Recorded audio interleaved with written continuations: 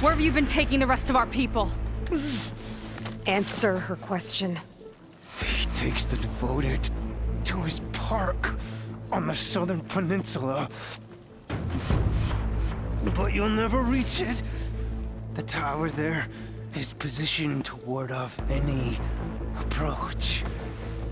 And my sister is there? She was in the final group. I'm not supposed to bring any more over. But Walter promised the Ascension to everyone who proves themselves. I don't understand. Londra's been using you to get what he wants. Let's face it, you're an easy mark. Too blinded by your own ego to see the truth.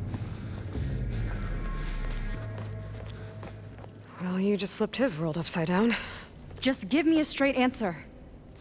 Why does Londra want to leave?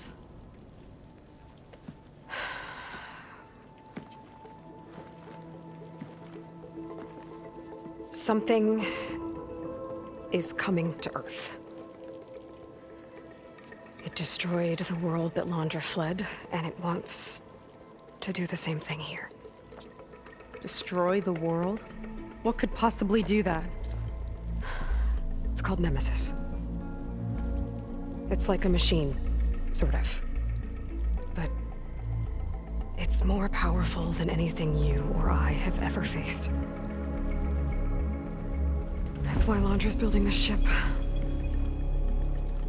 He's doing everything in his power to leave before it gets here. And I guess he wants to take some Quen with him, too. I know this is a lot to take in, but there's still hope. If you say so.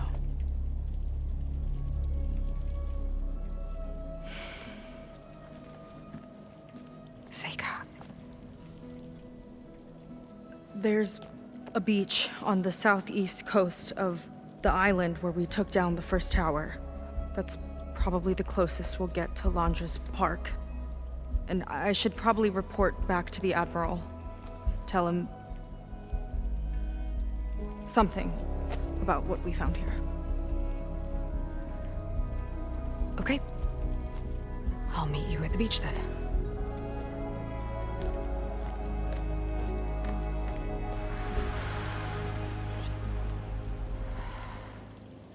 That was bad.